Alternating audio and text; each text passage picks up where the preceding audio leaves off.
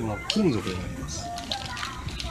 色だけで金属は金属ですこれはい。でこれがあの、まあ、実際入れて動かしてみないと正う直ん。ちゃんと合うかどうかはうん。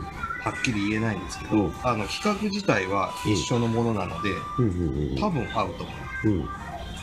でここも壊します。うん。入れるために。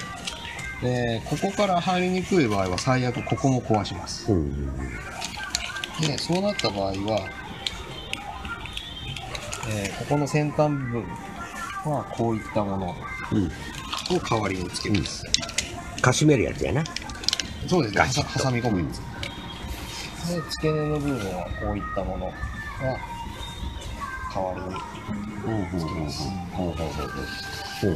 けどこれがちょっとここのこのベロっていうかうん。隠しの間に入るスペースがないかもしれないのでこの足をを潰さなきゃいけないので、うん。なのでこれを使うよりはもうぶっ通しで縫い留めてしまった方がうん。一番安全かもしれない。ちょっとそれをやりながら判断して、なるべくここは触らずにもうここだけでやりたいと思いますので、うん。